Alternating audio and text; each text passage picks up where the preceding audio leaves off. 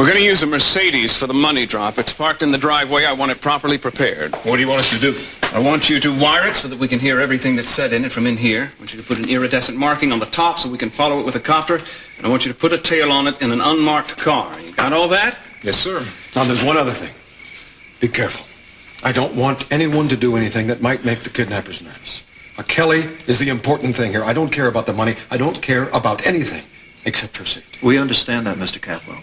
If you want my opinion, it's a mistake by what you're doing here. What would you, you mean taking precautions? I don't think they are precautions. I think you're putting Kelly's life in greater jeopardy. Dan, that's ridiculous. You want these men caught, don't you? I want Kelly found. Now, once she is here, home and safe, then I will personally lead a manhunt and find them. Until then, I don't want to run any mistakes. I'm not going to do anything that's going to hurt Kelly, but there's certain police procedures that have to be followed in these cases. Cases?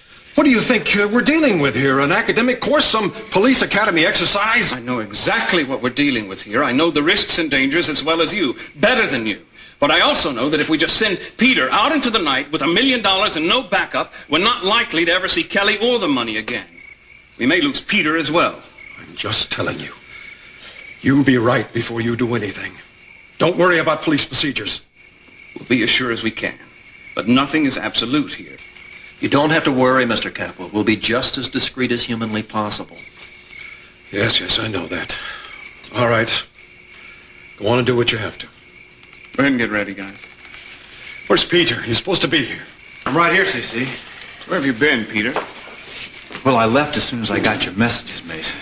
Have you heard from them? Yes, and you've been approved to act as go-between.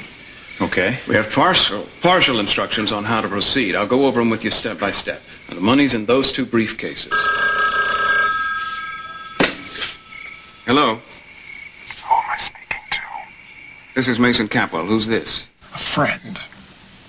If you want to find Ginger Jones, she's at 116 Hollister.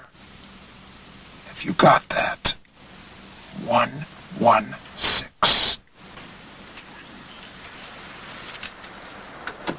Who is this? Hello? Hello? Who was it? I don't know. He didn't give his name, but he told me where I could find Ginger Jones. I'm going to check it out. Where is she? She's at 116 Hollister. I'll phone headquarters from the car and report it. Mason, I'm going with you. If we can find Kelly, maybe we can resolve this whole thing right now. No, no, it's a long shot. I don't want anybody to get their hopes up too high. Anything is worth trying. Don't you think I should go with you? No, you better stay here by the phone in case they call back. Uh, we'll stay in touch with you. Whatever you say. Uh, leave a man outside in case you need to contact us.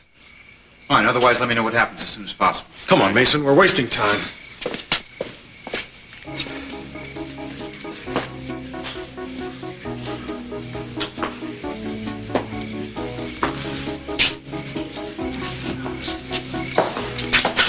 I'd better take these with me. Never know when you're going to need a million dollars. Yeah.